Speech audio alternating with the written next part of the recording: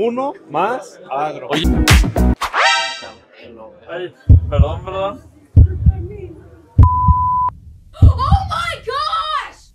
Ya le andas tirando el café a la señora. No, man, me dio una nalgada. Aquí les pregunto, ¿qué hubieran hecho ustedes?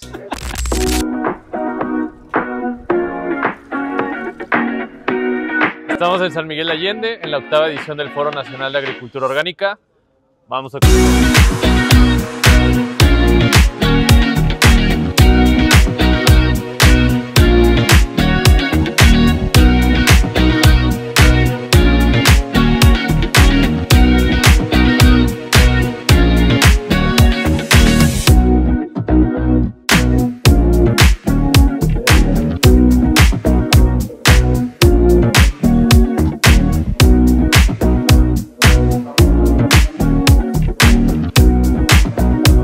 Nos encontramos aquí en la octava edición del Foro Orgánico en San Miguel de Allende.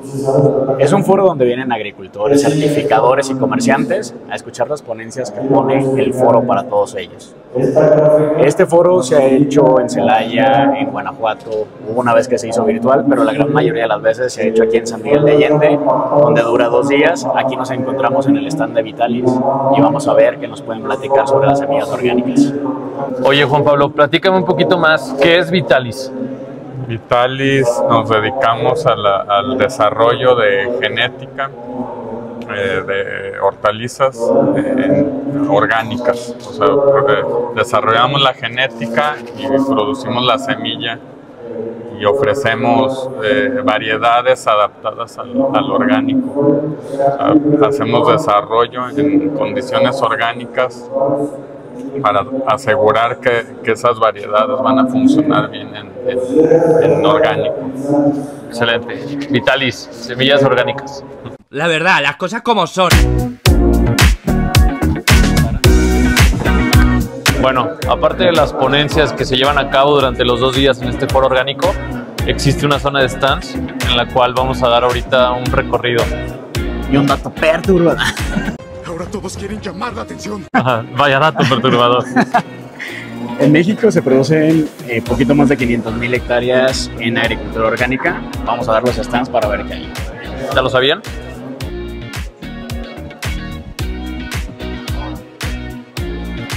Hola. Muy bien, ¿ustedes cómo están? Nos encontramos aquí en el stand de Ramacia. Inge, platícanos qué es Ramacia. Hola, buenos días. Ramacia es una empresa guanajuatense.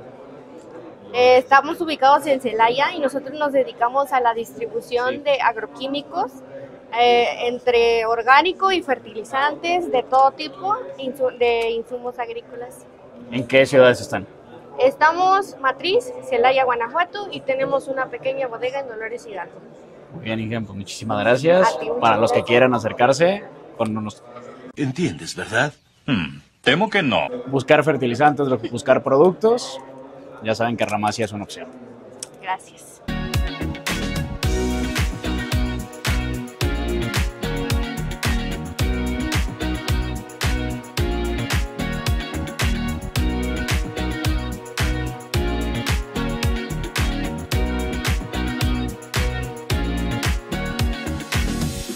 ¿Cómo han estado? Unos amigos de Alianza. Rafa, ¿cómo andas? ¿Cómo estamos? Mucho gusto. ¿Todo bien? Todo orden, Y dando una vuelta a la zona de stands. ¿Cómo les ha ido? Bien, la verdad ya estuvo bien, ¿eh? Sí, Para quejarse bien. excelente. Pues ojalá hoy se cierre mejor. A ver, pues vamos Y a ya es viernesitos. Ahí estoy grabando, mira. Estamos, Rafa es amigo de nosotros, con Alianza, nos han apoyado a, a la iniciativa de Uno Más Agro. Rafa, sí, platícanos de amigos, ¿qué es Alianza? Bueno, Alianza es una empresa que nace hace 75 años en Puebla fabricando bolsas de polietileno. Hace 27 años empezamos a incursionar en los plásticos agrícolas.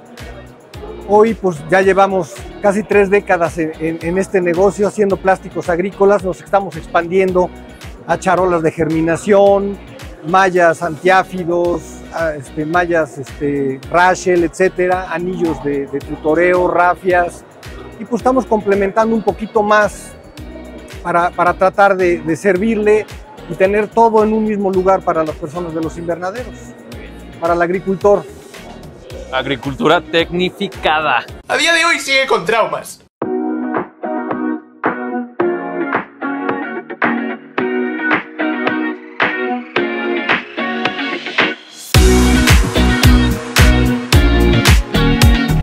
Ahorita me encuentro aquí en el stand de Diatomix con el Inge César. César, platícame qué es Diatomix. Diatomix, polvo fino, blanco, eh, versátil. Yo me- mencionaría como Diatomix versatilidad. ¿De Lo, tenemos- lo podemos utilizar tanto en nutrición como protección eh, para potencializar el, el manejo que tenemos cada agricultor. Tanto altas tecnologías como bajas tecnologías. No, no si, es si pudieras platicar, digo, sé que no van a ser todos, pero dos o tres beneficios que puedas tener al aplicar Diatomix. Eh, vamos a eh, tener mm, retención de humedad, que ahorita es este, Ideal. y un, No, un necesaria. coco, un coco para todos, retención de humedad, potencializar, hacer que se muevan los nutrientes y bloqueo solar. Para, para sintetizar, bloqueo solar eh, para, para el golpe de sol. Muy bien, Inge, pues muchísimas gracias. No hay que agradecer.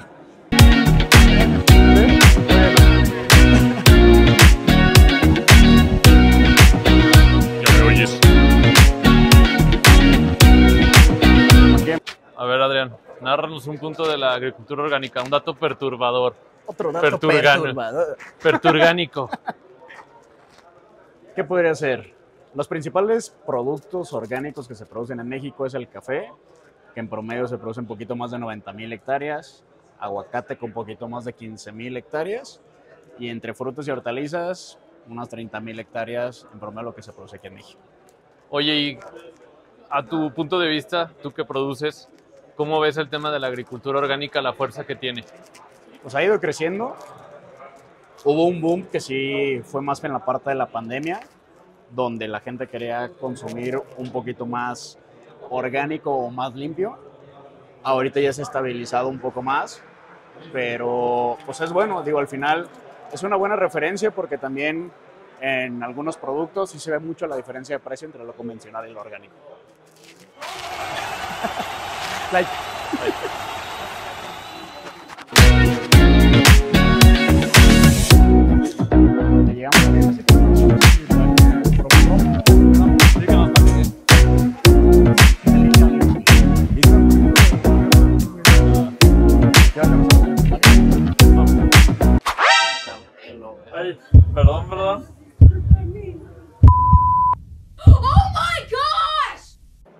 tirando el café a la señora.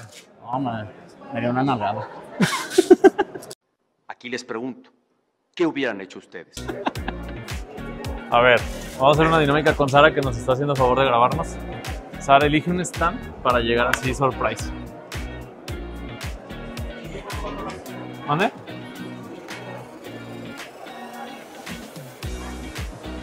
¿A cuál? Va. ¿Cuál elegiste? Ese mero. Bioquim Agro. Hola, buenos días. ¿Cómo están? Estamos grabando un poquito, un video con el buen amigo agricultor para Uno Más Agro. Y queríamos ver si nos podías platicar un poquito más a qué se dedican, qué hacen. Mira, nosotros somos Bioquim Agro. Permítame, permítame para que te alcancen a escuchar bien, si no... Ok, va de new. Buenos, buenos días, bienvenidos. Mira, nosotros somos Bioquim Agro. Somos una línea de bioestimulación y nutrición vegetal. Nos ubicamos en la parte del altiplano. ¿sí? Más sin embargo, ya tenemos un alcance de 15 estados de la República con toda nuestra nutrición. Yo manejo la zona centro-norte de Veracruz, sube Tamaulipas, San Luis Potosí, una parte de Puebla. Ahí con la parte de cítricos, caña, un poco de, de hortalizas hacia la parte de Puebla, hacia la parte de Veracruz y maíz en general, ¿no? Eh, por, por, la parte de la nutrición y bioestimulación también tenemos la parte de bioracionales que han tenido buen impacto, muy buen efecto, la mayoría ya con registro hombre y registro Metrocet. ¿sí? Entonces, somos otra opción más. Tal vez no seamos la, la más reconocida porque apenas estamos en, en, auge, llevamos 10 años en el mercado, pero hemos tenido buen impacto dentro de nuestra nutrición y la bioestimulación. ¿Es la primera vez que están en este foro? Es la primera vez que estamos aquí. ¿Y qué te ha parecido? pues la verdad sí, me ha parecido interesante. ¿Estarías la siguiente edición? Sin problema, la vez que estemos. ¿Cómo están en redes sociales? Como Bioquín Magro. Bioquín Magro. Así es. Para que sigan a nuestros amigos de Bioquín Magro. Muy bien, Claro eh, muchas sí. gracias. Que les Estamos termine muy bien. Un gusto. Gracias. ¿Vamos a entrevista o qué? Sí, venga. ¿Eres de los que llegó estudiante, no? ¿O no? ¿Eres estudiante o es? Soy estudiante. Pues de una vez.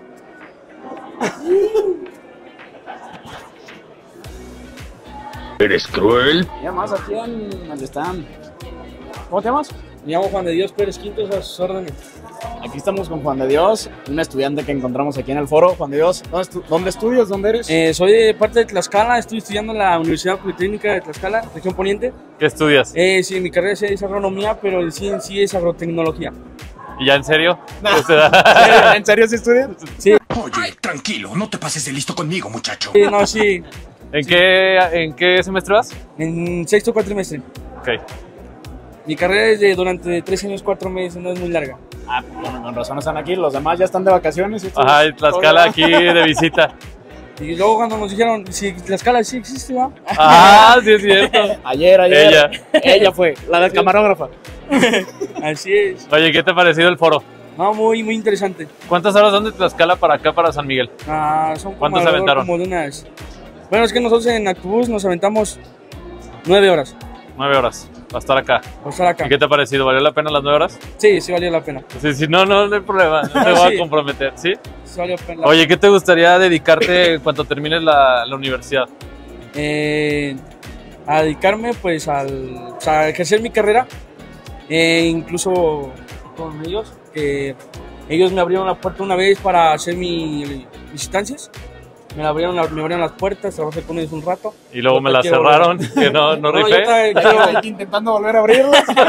yo ta- yo ahorita quiero volver a intentar otra vez con ellos. Muy bien. Oye, Oye, entonces te gusta la parte de ventas. Me gusta la parte de ventas. ¿tu cultivo y- favorito? Eh, la espada. Muy bien. No, y aquí no.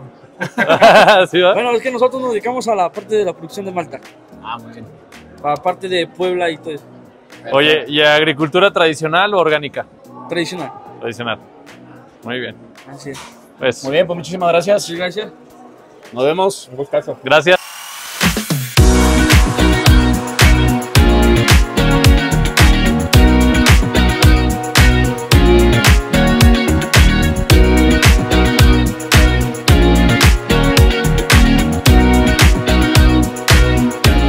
Vamos a caerle de sorpresa a otras chicas. Vamos a ver qué dicen. ¿Cómo anda? ¿Qué onda? Ya te andan grabando. Sí, no, nos lo vamos a grabar. Miren, ya le caímos de sorpresa a, a mi conta agrícola. Él es Miguel, es amigo de nosotros. Eh, platícales así breve a los jóvenes qué es mi conta agrícola. Bueno, somos una firma especializada 100% en el campo. Atendemos desde el pequeño, mediano agricultor hasta el grande agricultor. Les ayudamos en su gestión de sus créditos, su administración de su rancho, eh, al crecimiento de su, de, de su empresa, de su, de su negocio agrícola, a través de distintas gestiones, ya sea con el gobierno, ya sea con bancos. En eso, en eso hacemos. Hacemos algo más que la contabilidad, Toño. Cuando a ustedes les duele algo, van al doctor. Cuando tengan problemas en temas de contabilidad y vaya más allá, mi conta agrícola es el especialista y la verdad es que Miguel es una excelente persona. Así que si están viendo este video, luego luego a mi conta agrícola para que lo que les duelan esos temas, aquí mero. Ay, él es mi conta agrícola.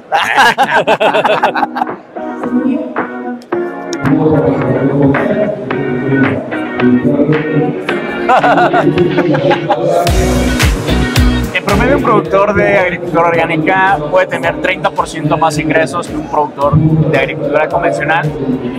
Entonces es importante que si tú vas a empezar en la agricultura convencional o en la agricultura orgánica, antes que nada veas a quién le vas a vender. No solamente porque en promedio se pueda tener más ingresos significa que te puede ir mejor. Acuérdense que es importante las ventas y como nos dijo nuestro buen amigo Jesús, hay que primero vender la leche antes de ordeñar las vacas. Y pues bueno, amigos, esto fue un poquito de lo que fue aquí el foro orgánico. Espero que les haya gustado. Toño. Espero que, esperemos que les haya gustado. Fue una narración continua. Así se vivió el foro. Y pues se acabó.